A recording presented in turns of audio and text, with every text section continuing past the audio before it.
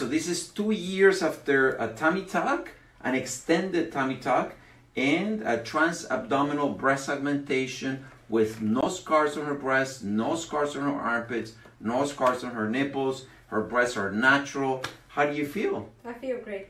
Awesome. Well, thank you.